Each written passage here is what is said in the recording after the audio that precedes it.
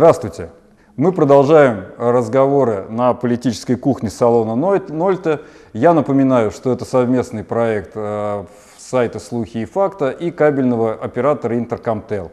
Сегодня у нас в гостях я, Алексей Машкевич, редактор журнала «Тысяча экземпляров», принимаю своего гостя Николая Юрьевича Корчагина, предпринимателя, э, депутата областной думы пятого созыва, кандидата э, в областную думу шестого созыва и, как вы можете понять по его цветущему виду, члена, естественно, партии «Единая Россия».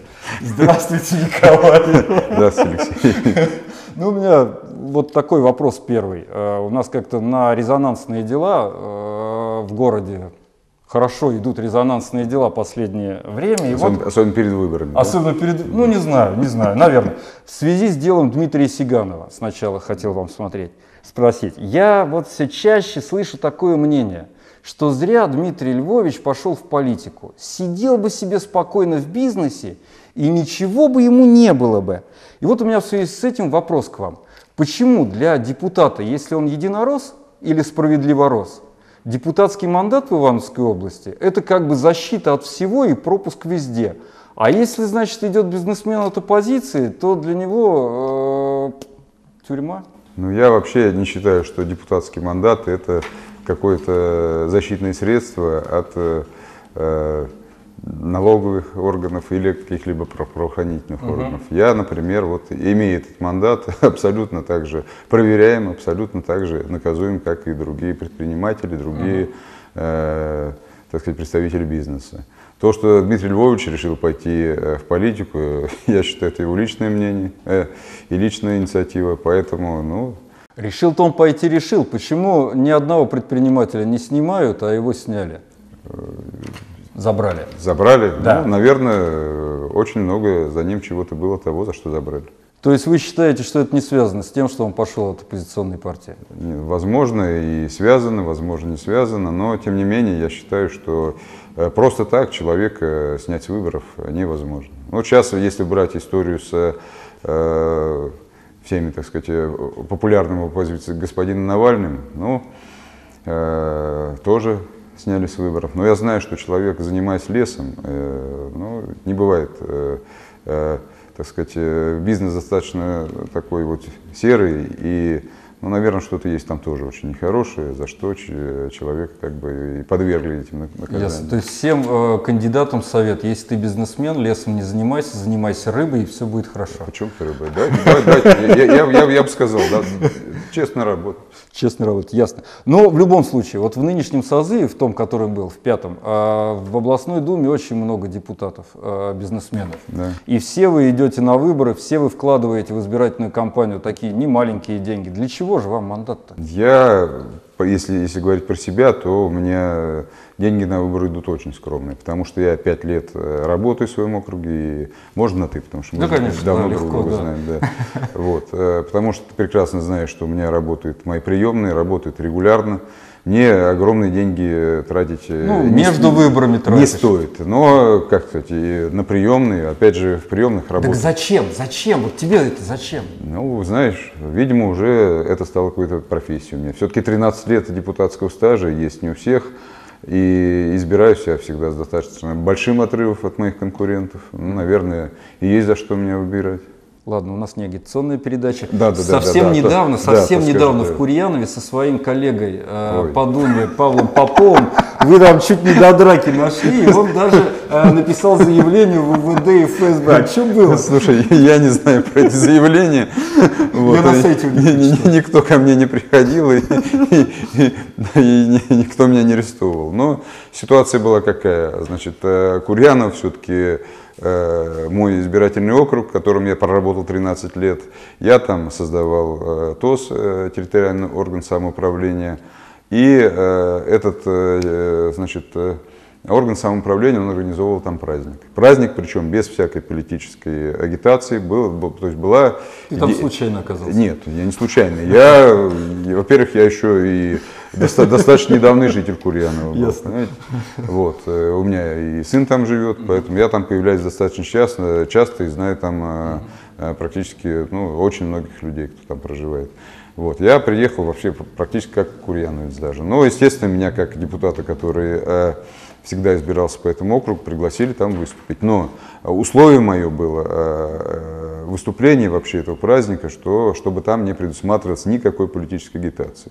Но когда вдруг залетают газели э, из, из, известной партии да, да, желтого да, цвета с, да. с, с, с двумя портретами да, да, да, известных, с, одни, уже, с, уже с одним. Ну, вот, да. да, и шариками, с флажками э, становится как-то грустно. себе. грустно, да. Вот, но тем не менее э, люди вышли на сцену, значит, э, один из них выступил, э, э, правда, народ его не слушал там. Э. А заявление-то за что он писал? А я не знаю. Вот, вот пусть э, э, предоставит хотя бы один э, материал, хотя бы вот я у жителей сам спрашивал, а mm-hmm. вот что я говорю. Вообще это не мой сленг. Ну, я могу выражаться, но, но, не, ну, так, я, но, не, я, так, я в курсе, но да. не такими словами. Хорошо, но мы на самом деле давно знакомы. И вот я помню, как в пятом году э, ты избирался в городскую думу э, депутатом независимым и избирался на такой жесткой критике Единой России. Я не критиковал тогда партию. Ну ты. Я, я, вот знаешь, вот моя позиция во время выборов, я никого не критикую. Я могу рассказывать про то, что я делаю. Критика. Ну вот у меня осталось все. Критика не мой Хорошо. А в облдуму в восьмом году уже шел под э, эгидой э, Единой России да. и всячески ее пропагандировал. Как вот так за три года мировоззрение? Ну, во-первых, я пропагандой не занимаюсь. И опять же, я рассказываю про себя, про депутата-одномандатника, да, члена партии Единой России и рассказываю то, что я э, могу сделать в округе, то, что я делаю в округе. У меня достаточно богатый опыт работы, и ты это знаешь mm-hmm. не по словам, что я люблю... Без агитации, все, все, все, все, все. А, и все-таки, вот так вот, Единая Россия, это та партия, единственная партия, да? Получается. Алексей, знаешь, э, да, я какое-то время даже в городской думе был против фракционности. Но да. когда вся область стала жить политикой, конечно, э, я, я, я не тоже деваться не было. Я выбрал ту партию, с которой мне э, решать проблемы округа гораздо легче. Будучи в оппозиции, э, но можно там покричать. Я, я, я вообще считаю, знаешь, что э, легче ничего не делать и, и стоять как против всех, как в известном мультфильме «Баба Яга». Согласен. Вот. Но да. если, если я взял на себя все-таки э, обязательства и э, стал членом партии «Единая Россия», то мои негативные какие-то действия по э, работе моей, они скажутся и на рейтинг на партии. И я уверен, что вот те мои, э, та моя работа за пять лет, она вот, ну, должна все-таки повлиять на... В сентябре, сразу после выборов, э, в Иванове начнет работать Народный фронт. Э, в который перешел Владимир Путин, стал, бросил вашу Единую Россию, стал лидером Народного Бро, фронта. Бросил нашу. А, вот, ты ну, собираешься э, вступить нет, нет, в Народный вот, фронт? Вы знаешь, нет, отлично, нет, коротко, все. Нет. Давай дальше. А, городские единороссы а, проводят сейчас асфальтирование, и городские, и вы. Вот как так получается, что вся городская дума а, принимала бюджет, по которому идет асфальтирование, а пользуется этим только Единая Россия – это потому, что э, договорились с представителями других фракций или потому, что э, работают машины депутата единоросса Ферояна, и он только ваши дает флаги вот, вешать? Посмотри, я по поводу асфальтировок. Да. Значит, э, особенно претензии в мой адрес. Во-первых, э, э, те дома, которые включены в программу, включал лично я, потому что я сидел один э, из депутатов своих при, это приемных. деньги, бюджетные, если, это не твои деньги. Если, я не говорю, что это мои деньги, да. я, я всем жителям объясняю, что это деньги из бюджета, но включить двор в программу асфальтировки, да, это моя задача. Да, я вот стоял. И если двор не асфальтировался условно 30-40 лет, и я знал, что в этом году бы он точно был не сделан, и я добился даже через э, фракцию нашу Единой России, чтобы его туда включили, но э, жителям все равно. Им самое главное, чтобы асфальт был. Ясно. Сейчас весь город говорит о том, что он творил сын э, Телмана Ферояна, вашего коллеги. Как вы Ну, для меня это ну, отцовское горе. Все, я по-другому это никак не назову. Хорошо, тогда Поли у вас тоже ну, трое детей, нет, Николай. Вот как вот вы вот э, вот, вот в данном в данном в данном ситуации я бы очень не хотел, чтобы э, развился какой-то межнациональный конфликт. Потому что недавно у меня ситуация была такая очень хорошая, опять же, вот угу. э, основана на этом дурацком инциденте, я уж так назову, да, да, в Курьянове.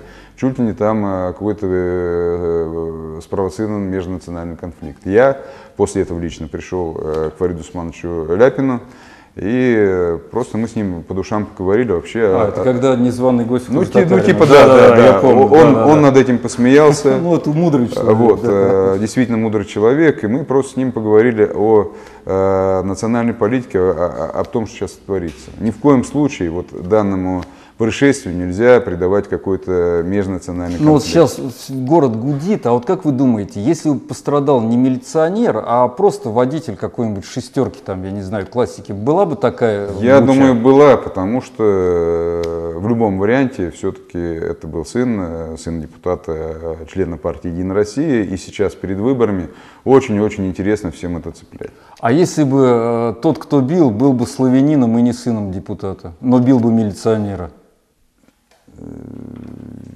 Трудно сказать, чтобы там было. Но я еще раз говорю, что вот данной ситуации очень сейчас пользуются те э, партии, которые идут, так сказать, э, против э, партии Единая Россия на выборах. Это очень-очень великий подарок, но я бы я еще раз сказал, что ну, нельзя по одному поступку ценить э, о делах. Партия состоит из разных членов. Вот я еще раз говорю, если можно, вот э, тот комментарий, когда мне... Сейчас э, в программе по скриптам. Спасибо, Николай. Это все. Напоминаю, что у нас в гостях был депутат уходящий областной думы пятого созыва Николай Юрьевич Корягин. Корчагин. Корчагин, конечно, я тоже волнуюсь. От э, член фракции «Единая Россия», член партии «Единая Россия». Я, Алексей Машкевич, с вами прощаюсь. До свидания. А Николай сейчас в рубрике «Постскриптум» э, скажет то, что не успел сказать на передаче. Спасибо. Кухни Нольте. Настоящее немецкое качество и функциональность. Только для вас. Эксклюзивно в Нольте Кюхен. Улица Октябрьская, 12. Я хотел веселую историю из, э, рассказать из э, личной жизни, да, из жизни моей семьи по разговору с сыном. То есть сын у меня однажды увлекся такими оппозиционными идеями. И начал тут рассуждать про эти клише, там, вот, Единая Россия, там, партия жуликов, воров, и все. Я начал рассуждать, говорю, сын, вот, ты знаешь меня. Я ведь и не жулик, и не вор. Он подумал, да. Я говорю, я знаю еще людей, которые в партии есть, и кто тоже не жулики и не воры. Он, ну да. Тогда, говорит, может, тогда партия, если вот э, кто-то был где-то заменьше, тогда партия не только жуликов и воров. Ну, наверное, да. Так говорю, это можно, говорю, и применить и к другим партиям. Он, ну да, тогда говорю, все одинаковые. Он да. Все, больше позиции он оппозиционными взглядами не страдает.